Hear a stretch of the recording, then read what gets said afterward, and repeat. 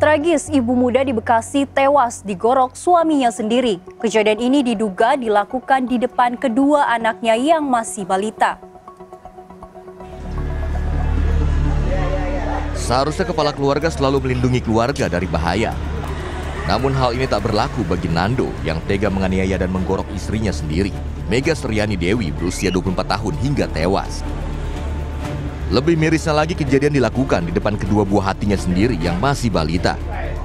Diketahui kejadian terjadi di Desa Sukadanau, Kabupaten Bekasi, Jawa Barat. Pembunuhan sadis diketahui ketika ibu korban mendatangi rumah kontrakan pada Sabtu dini hari lalu.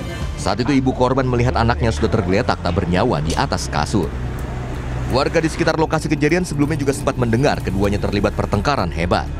Bahkan sebelumnya pelaku pernah dilaporkan oleh korban soal kekerasan dalam rumah tangga. Yang saya tahu pada malam itu saya dibangunin sama Hansip Lingkungan sama PMP. Ya, terus kata Hansip Lingkungan Pak Kadus ada pembunuhan. Di mana? Ah, ini dekat dari Pak Kadus.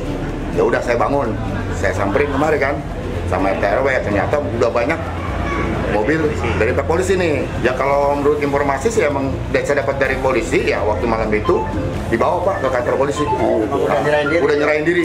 Usai membunuh korban, pelaku langsung menyerahkan diri ke Mapolsek Cikarang Barat. Motif suami tega membunuh istrinya sendiri masih digali petugas.